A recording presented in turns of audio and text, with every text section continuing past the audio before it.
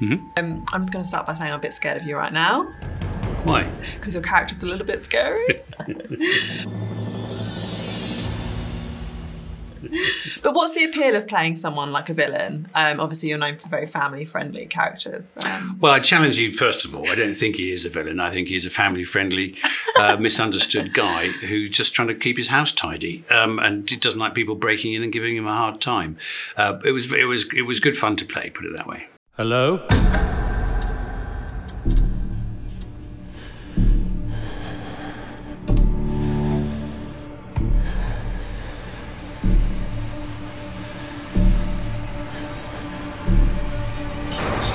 It's just it's credit to Hugh because he's yeah he's he's so he's exceptional in this basically you know really really committed really focused actor and it was it was a pleasure to kind of work with him and, and see you know how how he does how he does his thing. yeah. What Yeah. about for you? What What did you kind of think going into it? That's what I expected him to be lovely. and then this is, you know you'll see that this is a different, yeah, well, violence the word.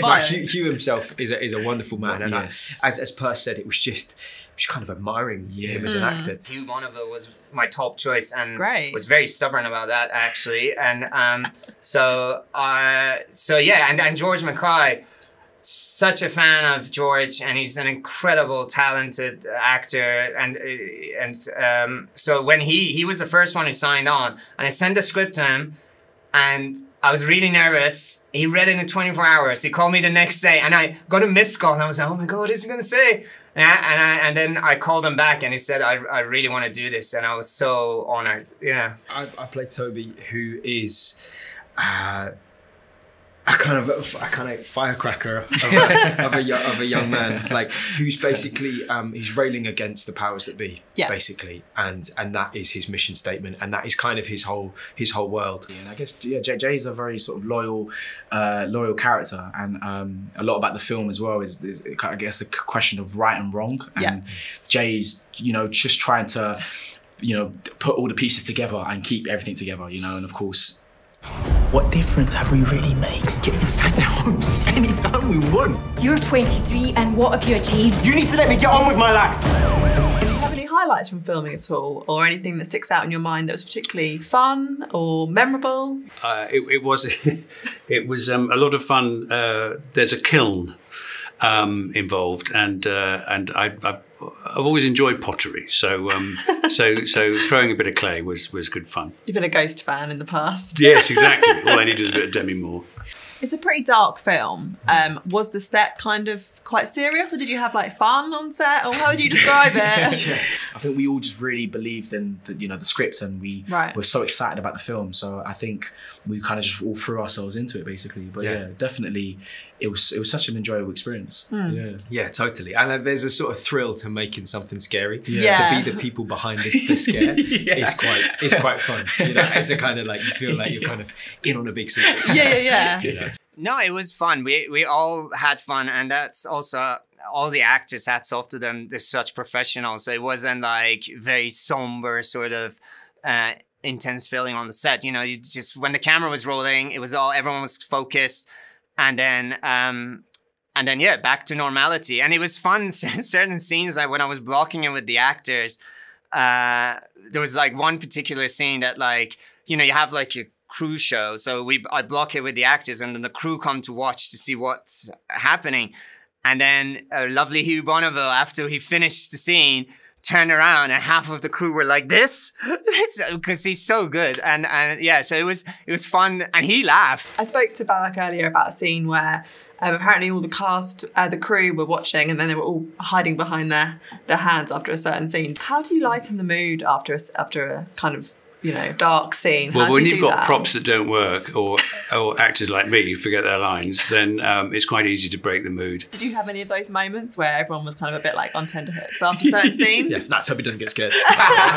Toby's never scared. No, not me. Yeah, I mean everyone else was, but no, I, I had a different experience. Um, Hugh basically in the beginning was uh, we had some sort of we got some scenes where it was quite physical. So um, we Yeah. uh, we we spoke about it briefly, and um, we kind of you know agreed. Okay, you know this the way that we we might do it on the day of filming, but then you know on the actual day itself, you know Hugh just yeah he, he goes for it. You know, I, and I love that so much about him. You say it skews dark, obviously, understatement. A lot of it's very dark. but there is one moment in the film where I had a little chuckle where Kelly Macdonald's character is watching Bake Off.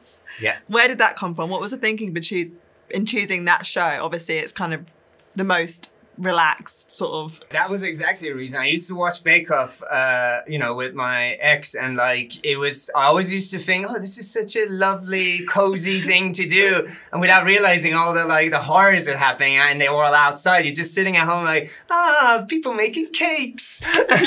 so, so that was exactly the reason. That was even in the script I put it. That that it- it's it's Bake Off that's being watched. Yeah, I did wonder if that was came from you, obviously. Yeah, I like I liked the fact that it made it a little bit more light-hearted at that moment. Well, there are light-hearted moments in the film. You know, at points we don't take ourselves too seriously. I mean, it's a it's a it's a movie. It's a thriller. Yeah. Hopefully, people will have a lot of fun watching it. Absolutely. Oh, well, what I quite, quite like was surprises like you don't expect a high court judge to be sitting there, you know, chuckling away at Rick and Morty and um, yes. things like that, and um, and being a house proud character, asking people to take their shoes off. So I, I, I did that to the crew as well. I said, "Could you take your shoes off because it's my house and I want everything to be nice. Don't want my carpet ruined." Yeah, like it was Um, your own. yeah, exactly. It is, yeah, very much my own house. Um, so no, it was a good, it was a good, it was a very good atmosphere on set, and um, a, a very hard working crew. I guess there's like so much coming on, kind of Netflix, streamers, um, linear at the moment. Why do you think people should kind of stop what they're doing and watch this when it comes out that weekend? I think uh, for, for me, I just think I'm s- I'm I've, I've always like I just love exp- I love films that just take me on a, on a journey, Yeah, take me on an it does experience, that. and I think yeah, like when I read the script, I just you can visualize. I could I was seeing the film in pictures in my head, and that's when I was like, yeah, I know this film. There's something really special about it, basically, and I just can't wait for everybody just to kind of go on that that same roller coaster, that journey, um, and just experience it, whether Mm. Yeah. or not you're watching it in the cinema or at home. Yeah. Um, you know, you can you're gonna go f- yeah, you're gonna go on that roller coaster, that regardless. Yeah. Yeah. What do you think in terms, yeah, getting people to kind of stop what they're doing and watch this one?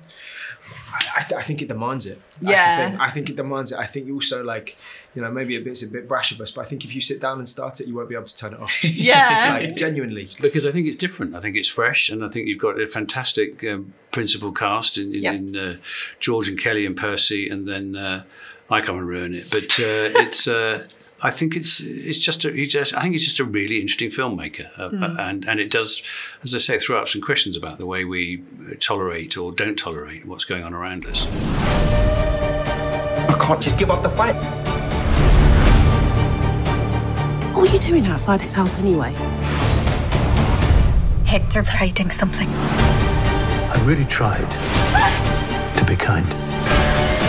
But I had this rage that was so liberating, so empowering. Do you want to know what happened?